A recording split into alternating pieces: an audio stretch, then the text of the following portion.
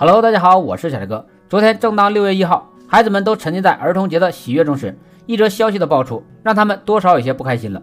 因为自己非常喜欢的游戏《王者荣耀》被社会组织起诉，要求整改或者下架。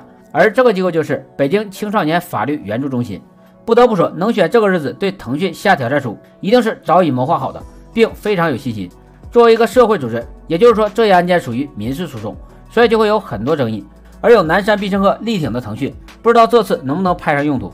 毕竟这次诉讼的地点是在北京，起诉的理由有五点：一、王者荣耀不符合适龄标准，不但降低年龄，从十八岁降到十六岁，最终改为十二岁以上；二、王者荣耀的人物形象设计大量低俗，完全不符合未成年人可见的标准；三、游戏人物篡改历史人物形象，践踏民族文化，例如只要提到李白，就会让孩子们想起他是峡谷中的刺客，而非诗人李白。四、充值限额和抽奖不符合未成年人规定。五、存在诱导性，弱化了未成年人的自控能力。目前还没有开庭，但放出消息后，网友们各执一词，作业家长们纷纷拍手叫好。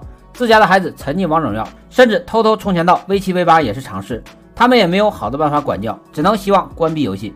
可另一方表示，就算没有王者荣耀，也会有其他的游戏出现，结果是一样的。对此，大家是怎么认为的？是否希望关闭王者荣耀呢？